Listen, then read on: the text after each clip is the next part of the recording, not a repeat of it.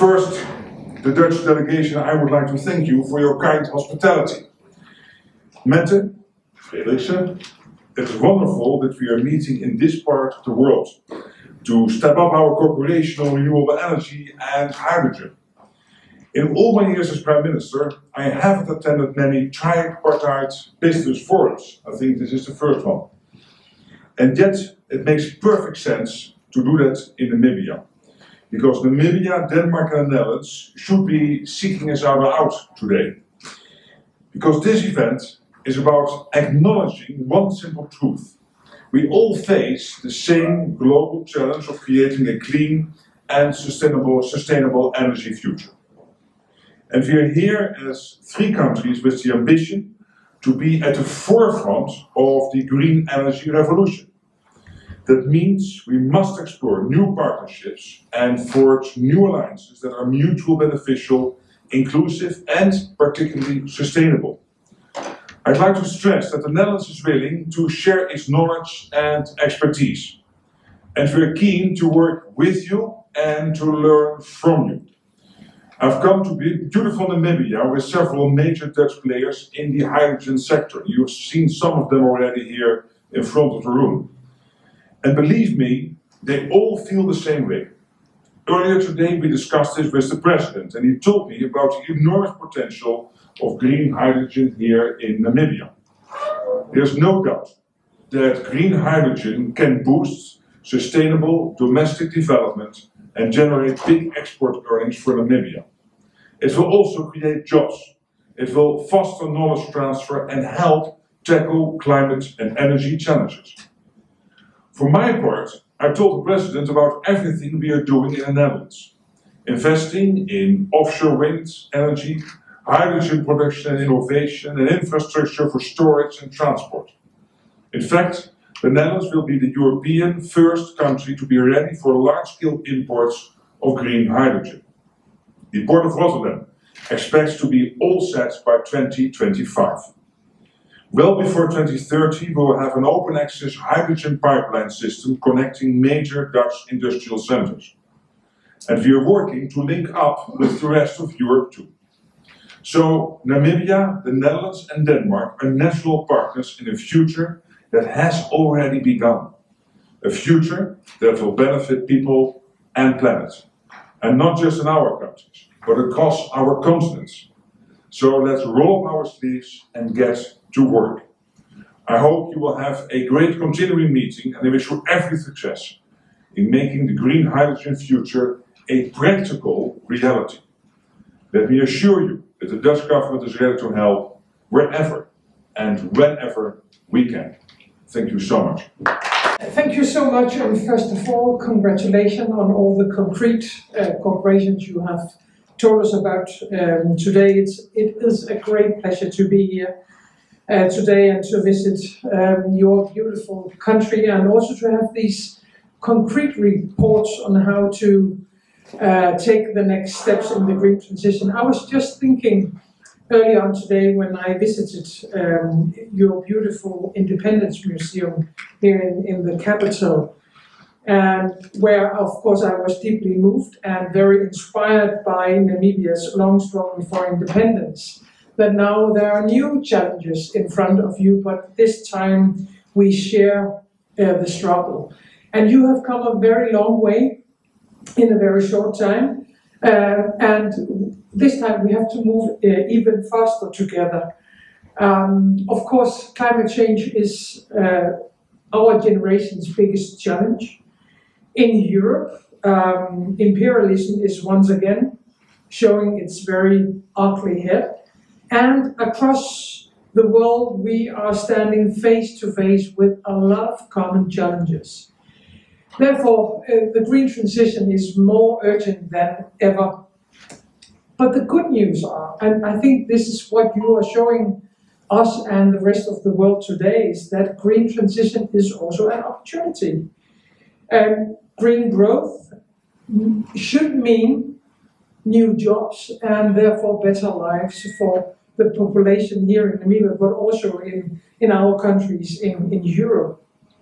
I have to say that I am really impressed by Namibia's vision for a green future You are a, a front runner, uh, not only in, in Africa, but also globally. And as we have heard already today, you have some very, very good conditions um, when it comes to, to the green transition. We would like to con- contribute. We have a long history on renewables, and we are trying already now to uh, build up the next uh, generation. And uh, therefore, very happy that with me today we have uh, some of our best companies. And uh, this idea of working together, not only two countries, but three countries, could maybe be an example for the rest of, of, of the world. We are also a seafaring nation, and uh, the Danish shipping industry have set a very ambitious new course towards net zero emissions. And uh, therefore, we need um, also to work in, in, in that uh, area.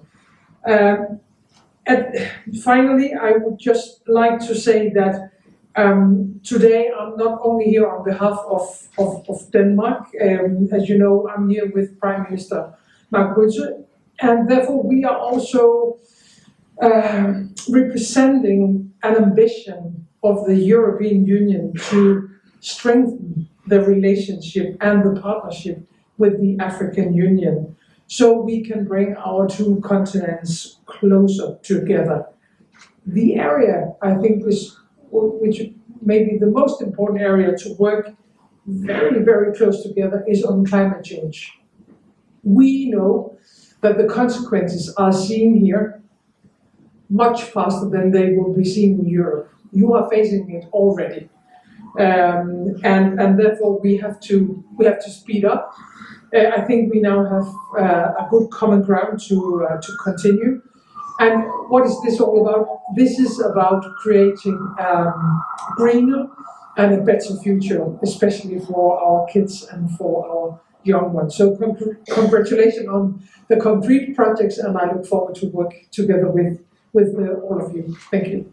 I could see here everybody is represented. Professors, doctors, developers, lawyers, Everybody is here because everybody want to see Dutch Prime Minister, Danish Prime Minister. Now, you, should, you must thank your president who brought them here. It's not me who brought them here. Now, uh, this is uh, it's, it's difficult to speak when everybody want to go. Nevertheless, I don't, I cannot welcome you to Namibia. You have been welcomed by the Deputy Prime Minister and Minister of International Relations at the airport. You have been, you have met the President, spend almost, we can say, you spend the day, you spend the day with Dr. Hage Gottfried Geingob. The only thing I can say is that I'm fully aware that your visit focus more on green hydrogen energy. But allow me to state that you are not strangers in Namibia's business landscape. Do I need to even mention uh, non-brand names? Heineken, Blue Kelt, and tourism agencies which found a solid base in Namibia. I trust that they are witnesses to the ease of doing business in Namibia. Right Honorable Prime Ministers, when investors look at investment opportunities, too often one of the determining factors for investment is Namibia's market size. Yet Namibia is a small market. Yes, Namibia is a small market, but what Namibia offers is access to not only to the Namibian market, but to the whole of SADC, as well as to the entire African continent through the African Free Trade Agreements. Namibia not only offers market access, but most importantly, Namibia is a country built on a strong democratic fun- fundament, on a strong democratic fundamental views, political stability, good and sound banking system. I saw the, the, the- the central bank governor here, and the ability to repatriate your investment. Namibia is also called a country of endless horizon, not just for her beauty, but the endless opportunity she has to offer. Namibia is a country with a huge economic potential for investors in almost all sectors, be they mining, energy, both green and fossil, blue economy, agriculture, skills development, and much more.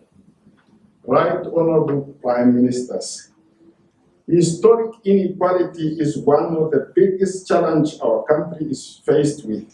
Hence, Namibia, through the establishment of the Namibia Investment Promotion Development Board, in two years ago, is making a conscious effort to increase sustainable investment opportunities Namibia. I saw the CEO of that board. By means of sustainable partnership that will yield positive economic results, that will be able to create sustainable jobs, that will improve the lives of thousands of Namibian citizens. I'm confident that all business people here today will be able to walk away from this forum with something they will lead to tangible result. I think we have already witnessed that. I also want to reaffirm to you that Namibia welcomes you back at any given time and that the doors of Namibia Investment Promotion and Development Board remain open for any future engagements. In conclusion, I wish to thank you and your delegations once again for having come to Namibia and for taking the time to hear and see what Namibian economy has to offer.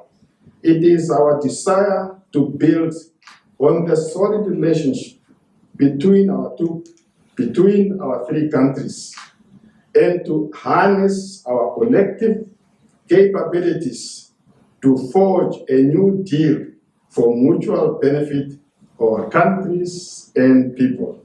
I would like also, I would also like to wish you and your delegations a safe journey back home.